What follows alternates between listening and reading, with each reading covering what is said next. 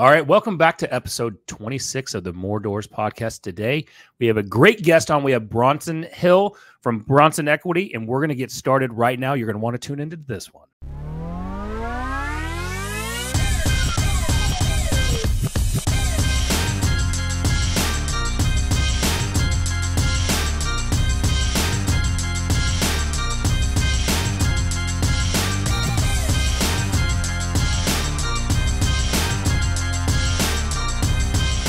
All right, welcome back. Episode 26. Today, we're excited about the guest that we have on today. Brian, he is over uh, 2,000 doors. Something like, I Yeah. mean, I think it might be like 50,000, but Yeah, something like yes. Between that, between It's 2,000 and 50,000 doors. We're excited to have Bronson Hill on from Bronson Equity. Um, but of course, before we get into that, right, we got to we got to thank our sponsors of the show. Otherwise, this wouldn't happen, and if it didn't, it wouldn't look as well as it as it's as it looks when you're listening to it, or the Mhm. audio, or anything like that. So, number one, Jesse, our producer from Tour Studios. Just go to tourstudios.com. If you're wanting to create content just like this, if you're wanting to have a podcast just like this, so that you become the market expert in whatever field that you're in. Look, you're probably wanting to invest some money too, right? So you're probably that's why you're listening to the show. yeah, So I don't know what you do for a living, but if you do want to become that market expert in whatever field that you're in, just go to tourstudios.com. Jesse can set you up on a podcast, get you some reels going, and uh, maybe even handle some social media stuff. absolutely. And when you're done there and you're hooked up with your new podcast that you're hosting, go and check out deepbluere.com. That's the uh, home of Deep Blue Capital. If you are looking to grow your income passively, build generational wealth, check out what we're doing over at Deep Blue Capital. Visit deepbluere.com. It's going to be a heck of a 2024. The winds of change are here. and We're very excited to bring new wealth building opportunities to our investment partners. So check out deepbluere.com. All right, done with the commercials. Let's do it. Yeah, I'm I'm excited about this. This one here, we have let's uh Jesse, let's bring uh Bronson on. So Bronson Hill from Bronson Equity. And um, I was reading your journey, Bronson, and and going through your bio. But what I really want to do, instead of me just reading off something boring, right? Like people, they're like, uh, you know, they give all the flash stuff you know, to read off. Why don't you tell us? Give us that sixty second version of of who you are and and what were you what were you doing to get started into you know multifamily investing? And welcome to the show, by the Yeah, way. welcome. Yeah, Sorry. thanks so much, guys. Good to be here. I can tell you guys have been doing this for a long time, a long time uh, you know, spending together. You feel super comfortable. So yes, love sir. that. Love being on a show like this. Uh, yeah, I'm excited to be here. I uh, a little bit of my story. I was, I was a well-paid medical device sales professional, so I was making over 200k a year, um, working with mostly with surgeons and heart surgical products. And it was great, except I didn't have control of my time. I had to go to work, and I wanted to. A lot of people think of you know financial freedom, but really what we want is uh, time freedom. And so uh, I just kept trying to look into ways to create passive income or investment income. Uh, started with single family, found my way to multifamily, uh, found a way to start scaling up. I, I didn't really know much about multifamily, but I had a cousin who'd been doing it for years, and I said, I don't have the money to do this. It seems like you kind of graduate from single family to multifamily, but he said, no, you can raise the money. So I learned about something called syndication, which is uh, raising money or, or investing passively in a larger deal and uh, there's usually uh, you know limited partners who invest money and people that operate those deals. And uh, now we've, we've raised uh, over forty million dollars for uh, multifamily. We've also done ATM machines and car washes and oil and gas, and we've kind of done some different stuff. So I was able to leave my great corporate job about two and a half years ago. Uh, just wrote a book recently called "Fire Yourself" in the background here, actually over here. I point the right way. And uh, anyway, been really excited to be here. Love talking all things real estate, finance, uh, investing, and super excited to be on the show today. I love it. I love it. I, I do want to, you know, something that we've we've started doing with the show when we have guests on is I want to I want to have you take us on the journey of you were like you said you were a highly paid medical sales consultant, medical consultant, and making over two hundred thousand dollars a year. That's that's a hard you know with that type of income you're making. It's hard to probably transition out into full time real estate. Can you can you take us on that journey a little bit? Yeah, so it's interesting. My my family is mostly, I mean, they're great, but they're all teachers and work for nonprofits and just like the uh, the rich dad, poor dad, right? The safe, secure job with benefits, right? That's like my family. My dad's a college professor, similar to uh, the, the, author Rich Dad. You know, it's just like like the security, wanting that security. So when I started saying, "Hey, I'm thinking about leaving my job," whatever, they're all like, "No, don't leave your great job. Why would you ever ever do that?" and it became the golden handcuffs. And I realized. Um, it, it, a lot of times if we're not raised around you know we're not around enough friends we know people that are entrepreneurs or are really doing things that are at the next level um, it doesn't have to be just in this example, but other examples, um, then we really are limited by who we're around. There's a saying that you're the average of the five people that you spend the most time with. So I realized I had to get around other people. So I joined a group that has uh, a mastermind for entrepreneurs, and I got in a room with with five other uh, entrepreneurs, and I basically explained, "Here's my business. Here's what I want to do. I want to leave." And um, after spending about a year with these guys, I kind of just explained the whole business plan and everything, and they're like, you know, you should leave your job pretty much as soon as possible. And, you know, it, it may not work, but um, you could always go back to medical sales. And it just kind of gave me like, oh, yeah, I, I could always, oh, yeah, I could go back to medical sales. So a lot of times I think in, in our mind, if we don't see a way forward, we don't have people around us that can help us on that journey, um, we can just kind of get stuck in fear and analysis paralysis. And I see a lot of people with analysis paralysis, not only like myself or you guys that are doing active deals, but people that are even passively investing or thinking about passively investing because everything's weird until you get started in it or you've done it. Or, you know, I heard about syndication. I thought, is this like a crime syndicate or what is like? I just didn't even know the word syndication or a TV show or something like what is this? But as I learned about it, and again, sometimes you move towards something that sounds interesting, you get to know different people. You hear about people that have done it, have left their job, have started to invest in this way, and it starts to normalize everything for it. So it's been it's been quite a journey. It's been a lot of fun. It hasn't been, you know, it's super easy, but it's been fun and it's been great, and I've learned a lot, and I'm just loving it. So how how long was that process though? So you you got in the the mastermind group. They're like, yeah, Bronson, definitely you should quit your job. you know, what's you've been here for an hour. What's the worst that could happen? you know, you can always go back to that other job, right? And and look, that sounds super simple. Um, but you know, when you're in the mix of it, I know like even Matt's brought it up on on the show that you know he's got you know we both we all have our our regular our daytime jobs. Brian and i run residential real estate teams and have other have other businesses. Matt you know works for a technology company. And so that's a hard part to do. So how long did it take you in between all right you went to this mastermind. They you presented your business plan and said you know i, I want to do this in five years. They said you should quit sooner whatever that may be. So from from from that process to and you know your first deal to now full time what what did that time frame look like? Yeah so when i first got started i was you know i've been doing single family stuff for a while. Um, i you know i had this conversation with my cousin who's a multifamily guy. I started basically devouring any book i could find on multifamily and they all started talking about starting a meetup. So I, I live in los angeles los angeles area so i started a local meetup. I went to somebody who had a meetup in real estate uh, topics and events and you know had a pretty good brand. And i said hey what if we start another meetup it was only on multifamily and you just show up and i'll do all the work we'll co-brand it? And so we did it and i promoted the heck out of it.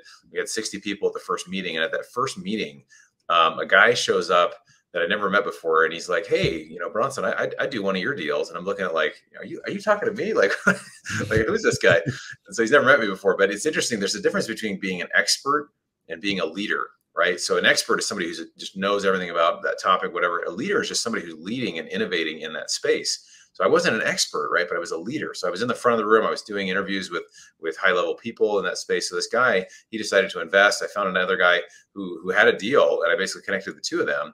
And so I raised hundred thousand dollars for my first deal. That's the hardest part of raising money or getting started in larger deals is getting that first deal, going from zero to one. So I got that done. And then over the next six months, I just try to learn as much as I can, look at as many deals as I could, went to events, conferences, different things. I found myself in March of 2019 uh, on a investor cruise. Uh, it was very, it's about $7,000 for me to go. And I ended up having a conversation with a guy that, that I kind of knew a little bit about, but I basically approached him. I literally pitched him at the martini bar one of the last days of this week long cruise. And I said, Hey, how's it going in this area in your business and raising money? And we basically formed a partnership to be able to work together. So he had this big brand of helping people to actually raise money themselves. But I said, what about all the people, that the doctors, the lawyers, the people are listening and they don't want to do it, right? They don't want to actually do the work. And so um, he said, that sounds like a great idea. So we basically formed a plan. So while working my full-time job, I had uh, a thousand one-on-one phone calls with high net worth investors over the next 18 months. And we raised $15 million together, right? So I went from basically not doing anything to basically within two years, having done all this, Um, and it was a hustle, right? It was a grind. I was working my full time job. Sometimes getting up at 6 a.m. doing these calls. Had medical sales. I had a lot of time in the car, so I'd schedule it when I knew I had time in the car. So I'd be doing calls in the car. I'd step out and do a call, or sometimes I'd do, you know, 14 or 20 calls on a Tuesday. I just try to fit them in whenever I could. And I'd made the decision I wanted to leave my job within three years. And just about three years to the month, I was able to leave my job. But it basically came from scaling up the income that came from these deals and also the equity and being able to replace not just not necessarily my income initially, but replace my um, uh, my expenses. Right, that's the most. I think the most important number is replacing your expense. If you replace your expenses and however you live, uh, you don't have to go to work anymore, which is amazing. So that's that's a little bit of the journey. Whoo, there's so I love that story, man. Thank you so much for sharing. That is, I have like nine things I want to dive into, so I'll take them one at a time. One, I just I can't tell you how many times we talked about starting a crime syndicate. So we need to process that. That's um, what we're um, doing here, right? That's what this exactly right. This is this is your initiation. Uh, exactly. Uh, man, I, I I have so many jumping off points that I want to dive into, but I think what you what you just said, I just want to backtrack about thirty seconds and and kind of epitomize everything that you just kind of shared in your story there, which is a lot of work, a lot of uh, you're very opportunistic. Um, you took that leap of faith, you got past the analysis paralysis, all that type of stuff. But what you just kind of epitomized in the last 30 seconds there is you actually also just did the day to day consistent work that any human being can do it's just one of those things that when we have that bit of imposter syndrome, which I I, I um I'd like to dive into that a little bit as well later. I saw a post that you made on LinkedIn the other day. Um, it feels uncomfortable to do those relatively simple, consistent tasks that lead to massive results over time because we feel like those tasks um, they're not for us. That life that we're trying to chase is not for us. We we we belong in the safe zone. We belong in medical sales where we're comfortable. We belong in that thing that we already are an expert at, right? And having a thousand conversations in 18 months is actually something anyone can do. In fact, we already organically have more than a thousand conversations in a year and a half. It's just normally with people we already know, and they exist in our comfort zone. What you did was you decided I have a vision for what I want my life to look like. And between me and that vision is a thousand conversations with high net worth individuals. And I realize and recognize that some of those might feel awkward at first and they're going to be uncomfortable because I don't have the track record just yet that I'd like to have. I might not have the confidence that I need. I might even ask questions or say things that make me sound dumb at times, but I'm going to do it anyway. And here you are, a thousand plus conversations later raising $15 million just in that year and a half, $40 million total now, living an entirely different life you are doing what um, you know joe fairless talked about this in, in one of his first books and he's talked about on his podcast a lot being a thought leader right? And i like to think that we've done that here in, in our real estate careers with our other podcasts as well. Whenever nick and i started that other podcast seven years ago neither of our real estate careers were where we wanted them to be at the time. We weren't unsuccessful we were relatively middle of the road as far as the real estate space but we started this podcast and it's allowed us to learn and grow. And in the seven years that we've been doing it, our businesses have grown like 10x um, because you put yourself into proximity of people that you expand your network with and you expand your knowledge base with, and it gives you the confidence to take action. I'm sure over that thousand conversations, you became way more energized and confident around what you were doing. And now you are not just a thought leader, you're also a very successful investor. You manifested this. So I know that I'm just kind of telling your story for you, but I want that to land with people that that's an incredible story that you just shared. But when you boil it down, you saw what you wanted your life to look like, and then you did the little consistent things that you needed to do every day. And you lived your life in a way that was extraordinary on a consistent basis. And sometimes extraordinary is just spending that time in the car when you could be listening to music making your phone calls so you can live that vision that you have in the future. And that's that's I commend that because that's that's an incredible journey, man. Nice, thanks, brother. Yeah, I, I, think it's um, it's interesting. You know, recently I was able to write a book, which uh, is behind me here. Go fire yourself. And you know, people say, "Oh, how do you write a book?" Whatever. And it, it, it, anything feels daunting until you do it, but yeah. it's actually not that hard to write a book. It just takes like what I did. This is what first of all what it is. Uh, Tony Robbins, I'm a big personal development guy, so he talks about you know it's in your moments of decision that your destiny is shaped, right? When I made a decision I was going to leave my job within three years, like it actually started to happen. And I didn't know how I was going to do it. I just kind of started to take actions to work toward that. And um, I think, you know, I have this saying that life has an action bias. So let's say you have two people and one has incredible vision and incredible strategy and everything, and they and they they they have all these great ideas. But the second person just kind of knows where they want to go, but they just start taking action today and they take action every day. The second person is just taking action will figure it out. They'll, they'll and it, it's not just taking the same action. It's kind of going back and reflecting and well, what worked, did this not work, whatever, and then finding what works and just going hard towards it. So with the book, I basically I travel quite a bit, but I was on a trip to Patagonia. You know, after I quit my job all this time, so I went to Patagonia, Chile, and was doing a hiking trip. And on the way there, I was I outlined kind of the chapters of the book, right? So then when I came back, um, and I think I got this. Somebody mentioned this, but um, that I'd, I'd, heard it. But if uh, I set a timer five days a week for 60 minutes, so I would literally just set a timer on my phone and I would just start typing and start writing that chapter. And I would write, and some days I would write a few hundred words, some days I'd write 1200 words, but I just, I just write. And after about two months, I basically had the book pretty much done. I mean, there were some things that had to get done, but for the most part, it was kind of done.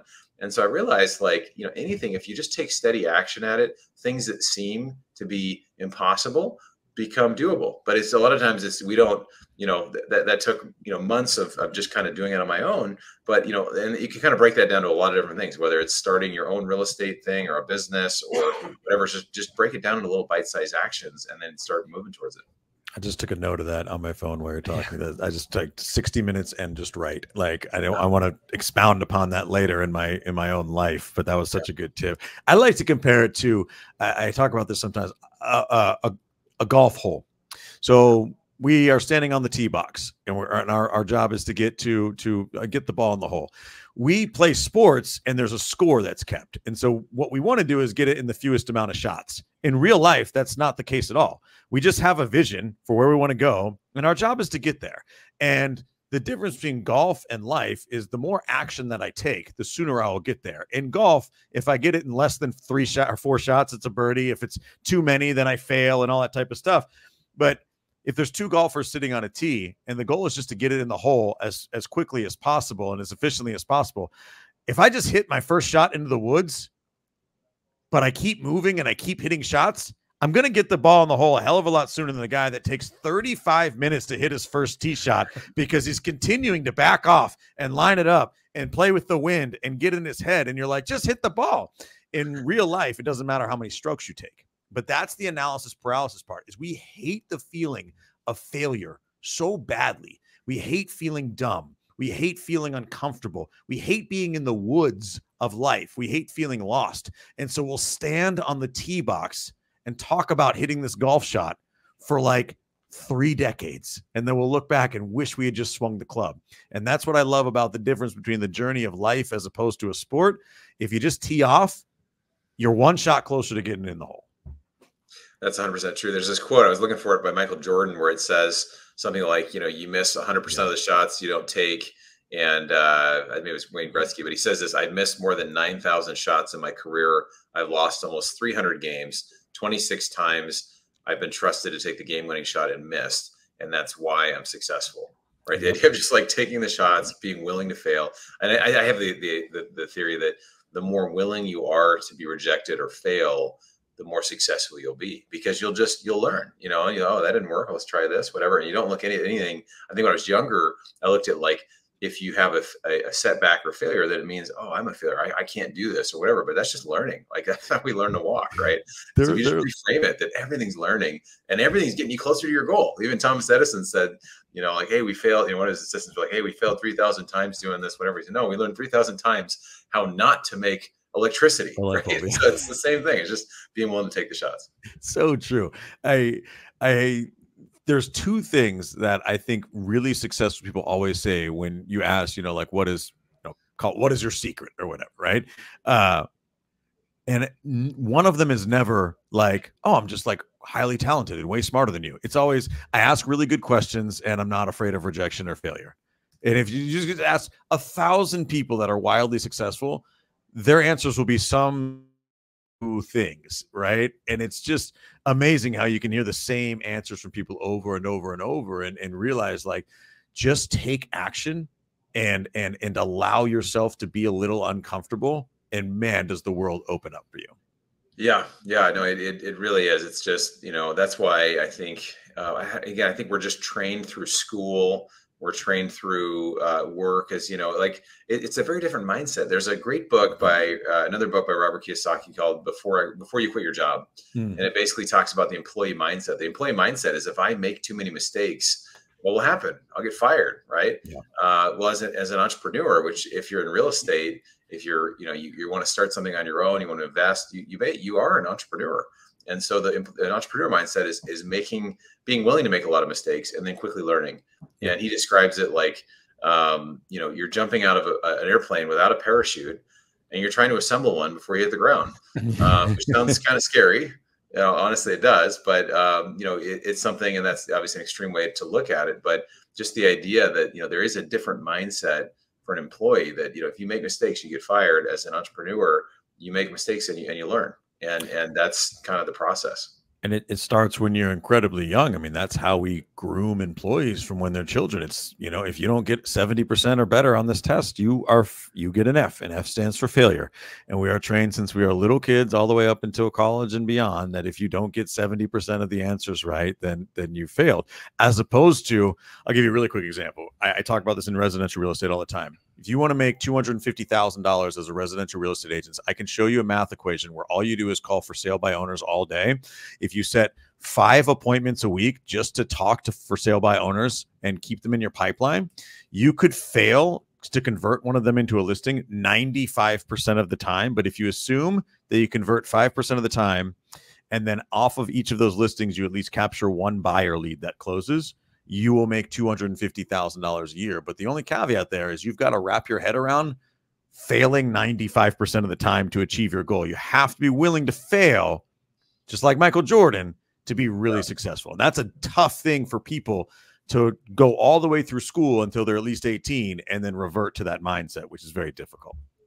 Yeah. So, so Bronson, go go ahead. Yeah. No, real quick, I want to because you know I want to you know while while this is I love this conversation. I want to evolve into how does this transform into you guys doing your first deal, right? You said you you raised a hundred thousand, which that's you know you like you said that was the the that was the beginning of the toughest part, right? You ripped the band-aid yeah. off, you did it.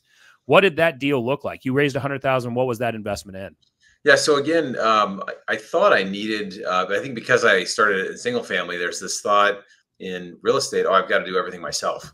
And when it comes to multifamily, it is such a team sport. I mean, you get over uh, 50 to 100 units, it's always multiple people. It's very, very rare that one person kind of does everything. Yeah. Uh, but single family, you can do it. You know, I had a small single family portfolio. I was doing a lot of it.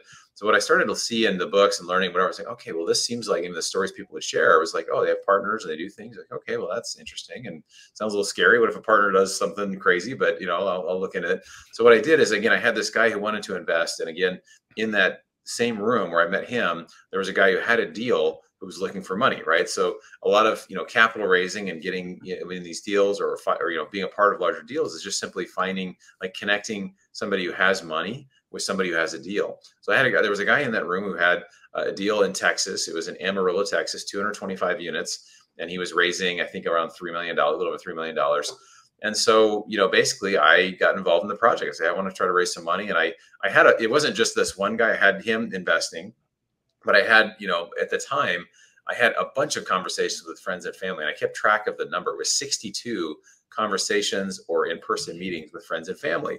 And the challenge when you first start is people didn't know me as real estate Bronson, right? Or, or, investment. They knew me as, as medical sales Bronson, right? It's almost like if you go to your your your car repair guy you've worked with for 10 years and you, you have him fix your car and he says, Hey, let me tell you about this real estate deal right? It doesn't really make sense. You've never talked about real estate, whatever. it is. You're like, dude, fix my car, man. What's going on? So, like, telling the story of who you are is a whole thing, and that's why it's hard to get started because people don't see you as an industry expert. So, the way to change that is what you were talking about, and Joe Fairless and some of the stuff about how do you start putting yourself as an expert, as a leader, and so being in the front of the room helps. Uh, also starting to create content and getting involved with different people and posting and this kind of stuff. That's why people start to see you in a different light. So that's for a lot of people, that's kind of the hardest thing is changing the story that people tell when they when they think about you. Like if they think about, oh, you know, you guys are you do this in real estate, whatever, and you have an advantage because you are in real estate. I wasn't in real estate, except that I owned a few things.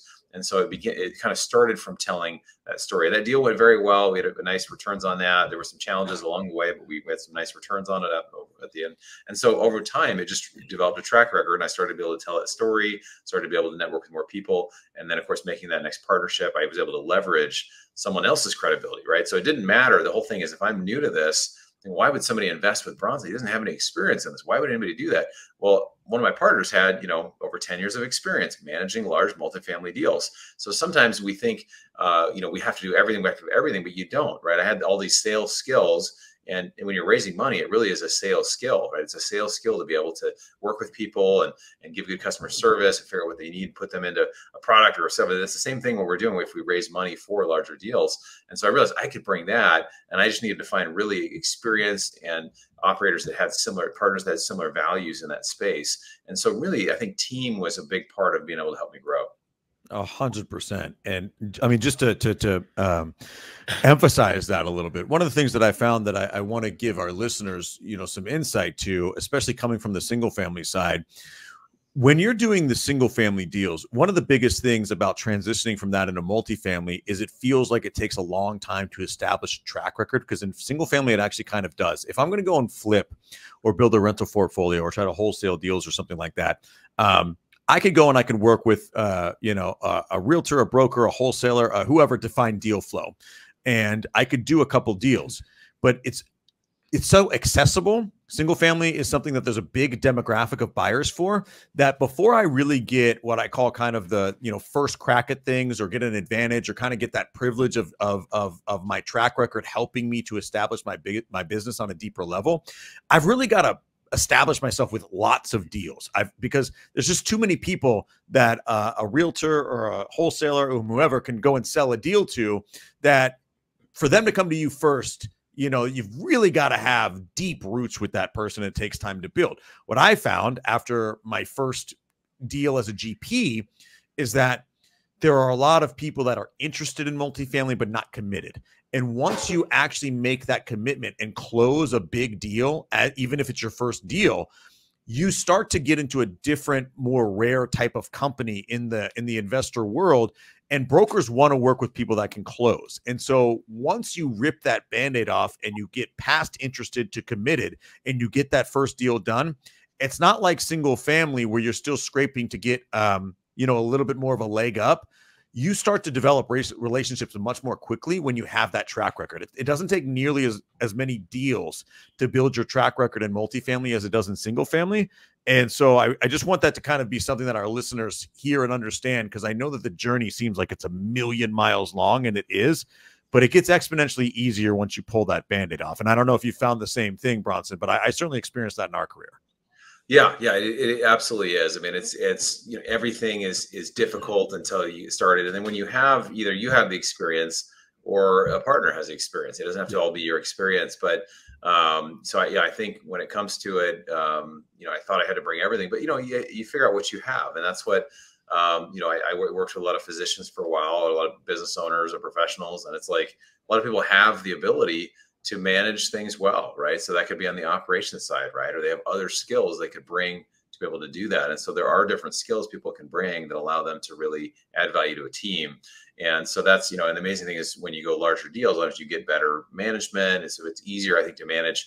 It's far easier to manage 100 units in one location rather than 100 houses all over town, right? Just because you get a discount on the management instead of 10% typical fees, you get maybe it's you know two to four percent typically, and then you have on-site staff, you've got on-site maintenance, you get a discount on their uh, their rate because they're all um, you're paying you know you're paying a salary for them rather than hourly. Typically, there's one type of appliance, usually, or you know, a couple, just very few types of appliances, same paint colors, those kind of things, same plumbing. So it's just much more efficient. So I think, um, you know, the partnerships, I think, is is one of the best ways I think to grow quickly, uh, and just realizing it doesn't have to be all you, and that's hard for me being.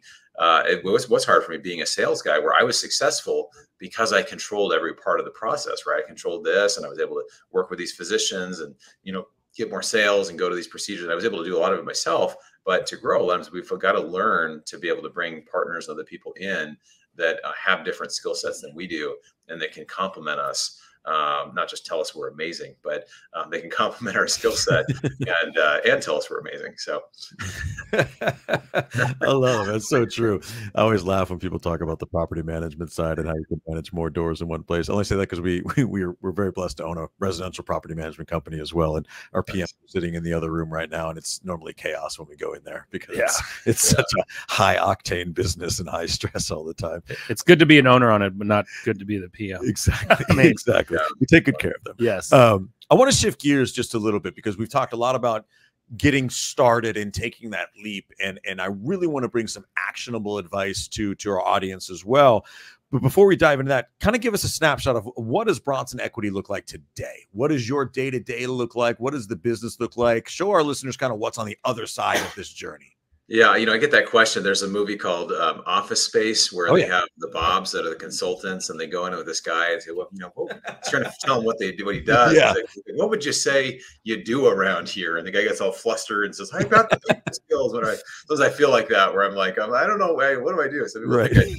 Like, I just do podcasts all day long or create videos, and that's yeah, that's part of it. But you know, looking at deals, uh, there's a lot of, especially with writing and deep thinking and processing. There's a lot of. I spend a lot of time thinking about the business. So Michael Gerber in his book, The E Myth, talks about you know when you have a business, it's important not just to to work in your business. You should be able to work on your business, right? So you kind of have this above the business approach.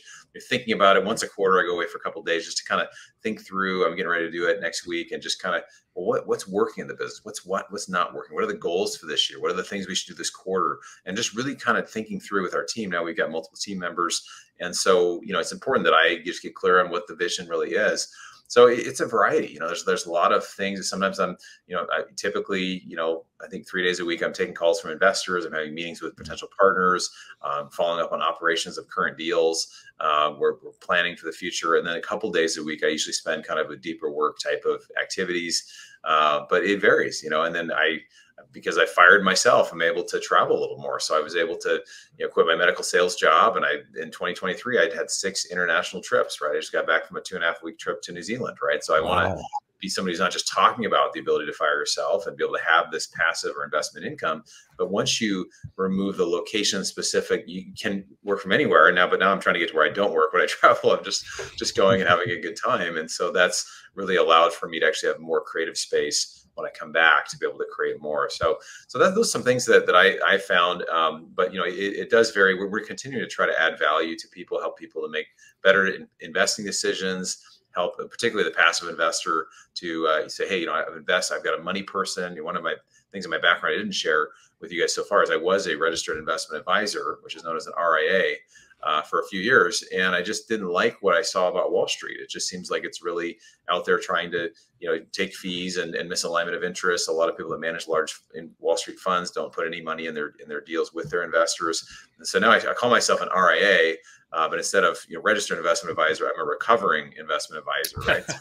I'm on the other side of that, where I'm like, well, how can I help people just to be educated on this stuff? So what I continue to think about is how are people that have never done real estate syndication or invested in private equity or other things, how can they get involved in ways and feel comfortable doing it in, in, in, an asset maybe they've never done before? So that's a lot of what I spend time thinking about and doing. And and what is currently with with Bronson Equity? What is what is un, you know assets under management look like? And then what is what is what is your deal? Has your deal flow changed, or maybe the way that your outlook has over the past couple years to the kind of current economy that we're in? Yeah, yeah. So we um, we spent a lot of time uh, you know, looking at different assets. Uh, my book, I talk about how do you vet an asset of any uh, any asset class. So not just you know we've done a lot of multifamily real estate, we've done a lot of other things, but we have shifted a bit to do some real estate, you know, non real estate stuff as well. Uh, we've done We raised over $15 million for um, for ATM machines. We have a large ATM operator we're working with, which has been an awesome cash flow business. We've got car washes, oil and gas type deals. We've got a venture type of deal. We've got a senior housing, new construction deal we're, we're getting ready to launch. Um, so we, we've got a lot of different things that we're working on and it comes down to really what is what are the investor goals? What are the you know what's the upside? And also what's the downside? What are the risks of doing something like this? With uh, real estate you know in general it's, it's gotten a little more tricky with lending. Um, it doesn't mean it's impossible. There are always deals in every um, you know every market. And so we try to you know look okay based on these rates and based on what we're doing does this make sense? Does this you know something that works for people? And um, i think you know in general what we've seen is for a lot of people uh, some of the real estate appetite for deals has has softened a bit um, now, you know, ironically, the best time to invest is the time when the least people number of people are interested. So we've seen like quite a few deals that are starting to get much much better than they were a year or two ago. We used to have deals for large multifamily properties where you get 30 offers at the table and people are going a million dollars non-refundable day one, right? We're not seeing that anymore. Now the brokers no. are chasing us down and say, hey, what do you want? You want to do this one or how can this work? Which is a great place to be as a buyers, right? So, um, but it's just trying to convince investors that, hey, you know, um, you know, the whole Warren Buffett saying of be fearful when others are greedy and be greedy when others are fearful. Um, not that fear or greed are necessarily a great thing, but just, just to have a contrarian approach, right? When everybody's kind of like running out of it, I said, hmm, well, maybe this is actually a good, could be a good time to get into this. So we're seeing that, you know, it, it's starting to develop some really great deals and, and being open to, you know, jumping back fully into real estate, I think is, is really exciting. Oh, 150%. I, I love, this is what I love about doing this podcast and speaking to so many, um, you know, what I consider brilliant minds is is is the synergy with which they talk about contrarian investing and things like that. Um, also, prudence is always at the forefront, I think, of all of our minds when we talk about investing, right? And so, what are what has changed about the way that you underwrite deals, having gone through the last few years, seeing what you know what um, unprecedented volatility can do to deals in a, in a crazy market?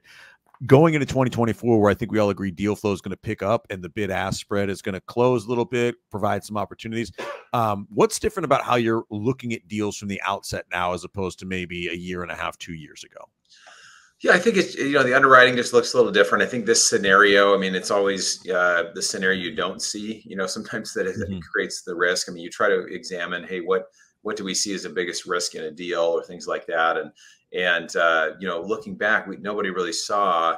If you go back a couple years, nobody foresaw that. Hey, here's what the Fed's going to do. We're going to be at a Fed funds rate of you know about five six percent. You know, in this short amount of time, it's going to be held here. It, it's been a real shock to the market, um, and actually a lot of businesses as well.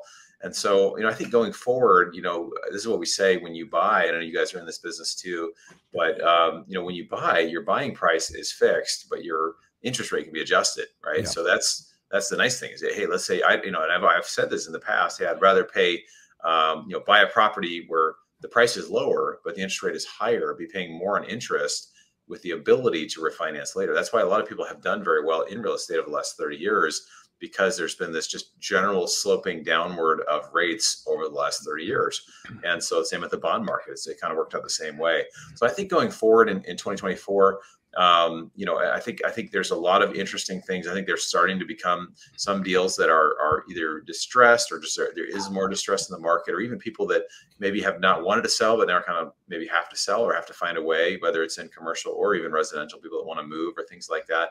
So I think it's um, I think it's going to be really interesting to see how it opens up for investors. Um, I think there's always opportunity in every market, but I do think that um, you know, coming we're coming into just a really really good time. I think the next six to twelve months is going to look really nice, and uh, at least for for getting new deals for sure.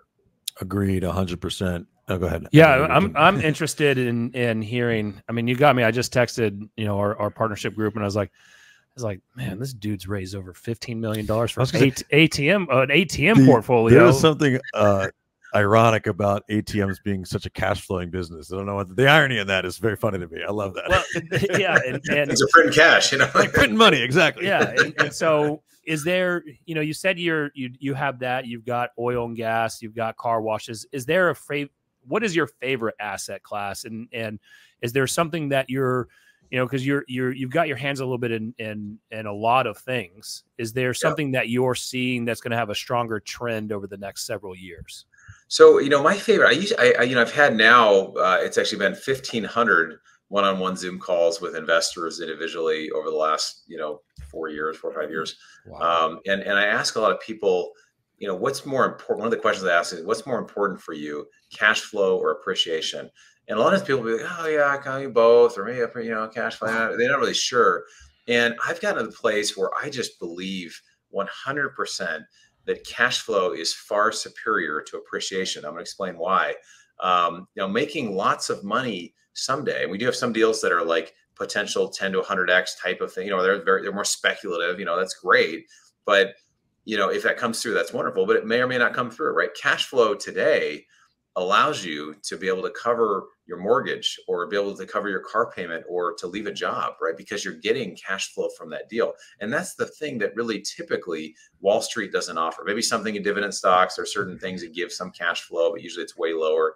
But in a lot of these deals, and that's uh, why I like the ATM fund is it's been the most consistent cash flowing investment, at least to this point that I've seen. Now, could it change or could it, of course it could, but um, you know, deals like that that produce this consistent monthly or quarterly cash flow, I think those really are far superior to just making a lot of money someday or something that works in five years or something like that, because that's what allows you actually to fire yourself, right? If like if I have, so if I was making 200K a year, but my, my spend for me to live was about 70K, 60, 70K a year, right? So five, you know, 6K a month was what I needed to cover my living expenses. So for me to get cash flow to cover that, was far easier, right? To get to 60, 70K mm-hmm. in, in investment income versus covering 200K, right? So just even focusing on the right thing and getting cash flow that covers that. And so that's where I learned that, you know, passive income or investment income is far superior to how much you make in a job. People can be making half a million or a million dollars a year. I talk about this in the book. I've got a couple doctors that were making over $2 million a year each but they were working 60 to 80 hours a week every week and weren't even hardly able to take vacations because if they didn't show up to work, they weren't getting paid. So that's that time for money trade, right? And if you can get out of that, even if you're create, you know, five thousand dollars a year in passive income, it typically will grow next year because of appreciation or things will grow or you invest more or whatever. And then you keep scaling that up to where uh, you cover your rat race number. You cover the number you need to be able to live. So I think that's something a lot of people don't really don't really get. And so the best investment is with those that cash flow and they cash flow consistently. I love it. You're speaking my love language. Yes, you I, mean, I was about was to like, say. all right. You know, I, I 40 minutes in, I perked right up on that one because that that is, you know, we do a lot of times in this business is delayed gratification, right? We keep kicking the can down the road, and there's a lot of times, you know, we'll hear, "What's your net worth, bro?" You know, what do you what are you net worthing over there? You're not even yeah. a millionaire yet. How much are you net worthing over there, man? Do you even do you even net worth at all? And and you know, and, and uh, look, I fell into that trap. My brothers, we fell into that trap big, and and you know, and and but if you looked at the cash flow on it, it was man, it was not, it wasn't sexy. How did you how did you get into that mindset right away? And then again, a lot of a lot of opportunities aren't necessarily strong cash flow plays; they're appreciation or value adds. Like was there somebody that taught you that or was there a mentor or you just had that mindset being you know uh, and you know recovering investment person um mm, yeah yeah it, honestly sometimes i feel looking back i feel like i'm a slow learner because it's like it takes me a while to get this stuff but i mean the nice thing is over time you know as you have conversations as you learn as you read books as you do these things it's kind of like huh that's really interesting. Like, okay, yeah, I could make a lot of money, but that doesn't really like even. And as I've seen, you know, just through experience, like, okay, a deal comes matures and I get a hundred thousand dollars. Well, that's great, but like I've got to redeploy that. And what's actually going to start producing cash flow for myself? Now, uh, kind of up on the side, you can't see it, but I've got the Cash Flow 101 board game here uh, oh, by yeah. Robert Kiyosaki. Yeah. Which, if you've played the game, if you have if you have kids um, and they're kind of you know maybe approaching teenage years or maybe a little before that have your kids play this game. There's actually a kids one too. And basically what it does is the whole thing is to try to just kind of do what I said is how do you create enough income from your investments to cover your rat race number? And there's some people that uh, it's a great teaching game because some people are uh, doctors and they, you know, their, their spend is $200,000 a year on what is their lifestyle. But another guy who's like the mechanic, he only spend you know 40k a year or less right? He's spending less money on himself so he can actually invest more and get out of the rat race sooner. So you know there's two parts of that equation. One is how much you make. The other is how much you spend. And that comes back to the book the richest man in babylon right is you know the miserable is the person who spends even just a little bit more than what they make and so you know if you can just be somebody who's a saver who's an investor and puts money in Um, but I, I, think, you know, how did I get that? I think it was just over time seeing how investments actually work and, and seeing also in the last couple of years some investments that, you know, looked amazing on paper, but they don't always perform the way that you hope. And when you have a cash flowing investment, it actually reduces your risk uh, as soon as you start getting cash, right? Your cash is actually being, or your, your risk is actually being reduced as you're receiving cash from the investment, because then you can also go to redeploy it, right? So I think there's just a lot of things when it comes to just managing how you you know how you invest and as you learn but um, you know again if you want to leave a job which most people do or at least have the want to have the ability if i sell my business if i stop practicing medicine if i don't go to work am i able to generate enough cash? And a lot of people don't know how to do that. And so that's the you know, again the warren buffett i quote like crazy but the warren buffett the idea of making money while you sleep. If you don't figure out how to make money while you sleep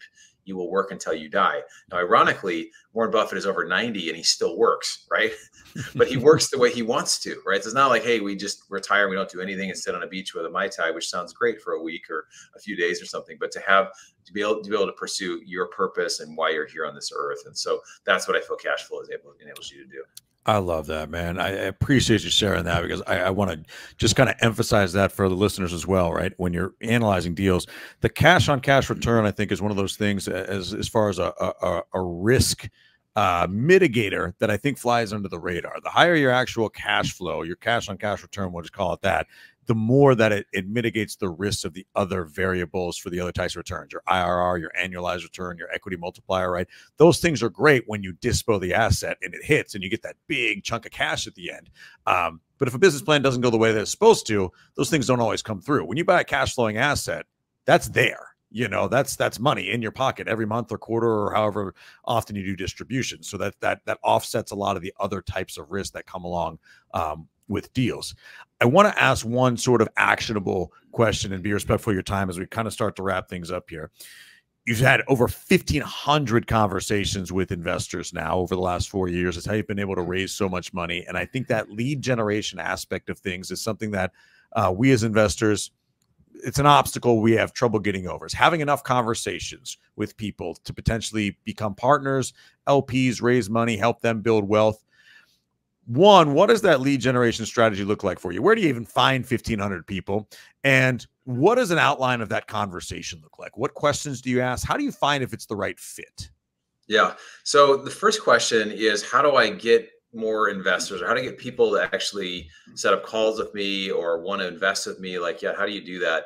And it's, you mentioned this uh, earlier in the show. We talked about the thought leadership platform, right? And so uh, you know, a lot of times what will happen or how it actually works is through a podcast like this, right? If you start a podcast, you start a meetup, you have webinars, you write a book, you create a, a lead magnet, you have something where people are drawn to you, then what will happen is, uh, you know, we have, if somebody goes to my website, bronsonequity.com, uh, you'll find there's a free download, right? And we give the first chapter of our book away, or we give different things out, and so people can download it. So there's an exchange, right? They give their email over, and then um, they get a, a, free resource that they'll find value in, right?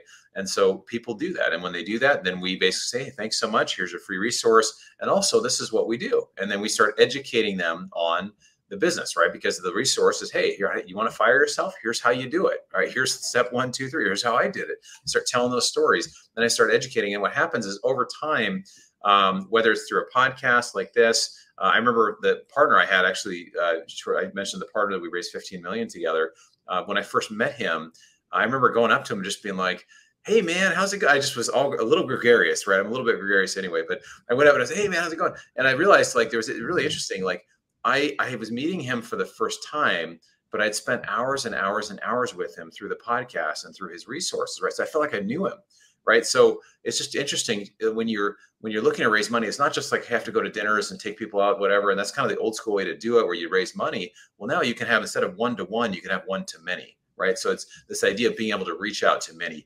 And so um, we think of it like a funnel right? So the first step of the funnel is you get people in your network maybe they follow you on social media they keep watch a video they listen to a podcast. Second thing is they get opted in into your your lead magnet or your network or an event or something like that and then from there, in every email, we're always telling them if they haven't, there's a way you can kind of organize people so you know if they've had a call with you. And you say, well, schedule a call, schedule a call, join the join the club, join the investment club, join the investment club.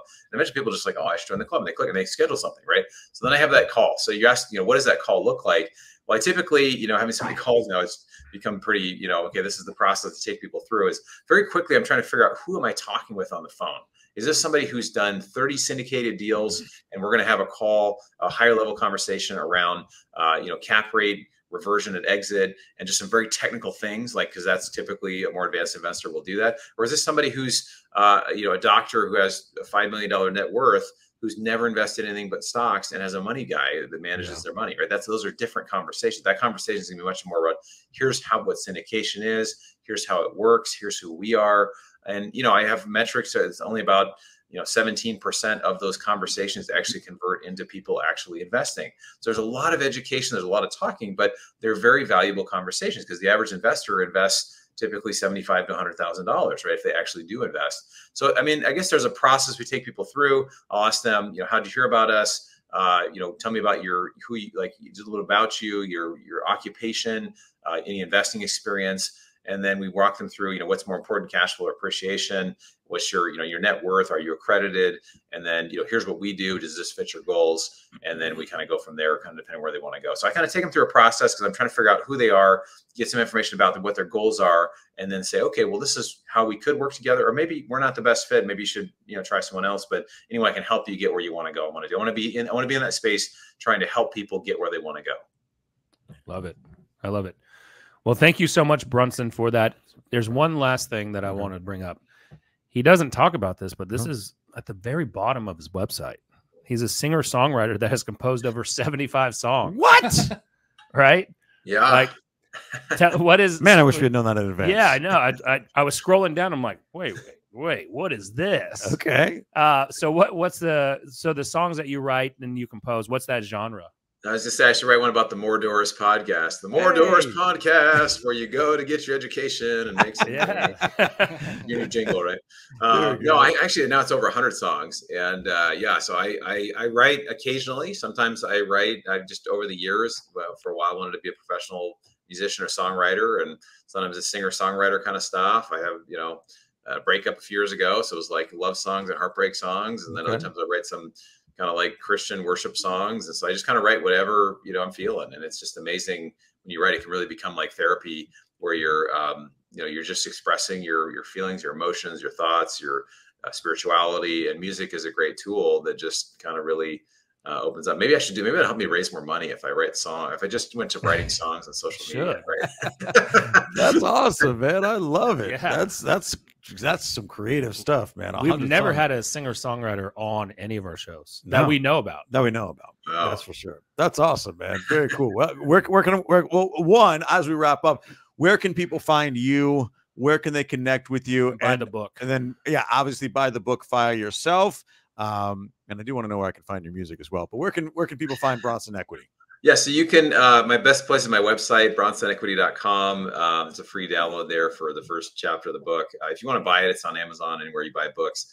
Um, also, I'm on all the social medias. You can just search Bronson Hill. Love connecting with folks about investing, about you know learning about reducing taxes and all kinds of you know vetting deals and all that stuff. So love connecting with folks. If you want to connect, love to connect. And thanks so much for having me, guys. It's been a lot of fun. Oh, likewise, man. Absolutely, man. Episode 26 in the books. No, we're going to use Bronson, who talked about just creating content and yeah. and podcasts and one to many. And and he was really speaking. That was an endorsement for two, TorStudios.com and Jesse. And and having that because that's part of the reason why we started this show as mm-hmm. well is to, the one to many uh, platform and be able to selfishly educate ourselves yep and learn from what everyone else is doing and then two they get to listen in on this so exactly, um, and then when they're doing that they should go to because if they're interested in investing or learning what uh, what we are doing, all they have to do is go over to, to deepbluere.com. That's Deep Blue Capital. That's a that's a company that Brian, Matt, and I own, and and uh, have some uh, some great investments under there. So, deepbluere.com. Bronson, thank you so much, buddy. It, this was amazing. Makes me want to own uh, some ATMs. yeah, thanks so much. Great being here. Thanks again. Absolutely. Check out Bronson Equity. Check out Fire Yourself. Man, we've got to have you back on soon. We appreciate the time, brother. Thanks, brother. Thanks, guys.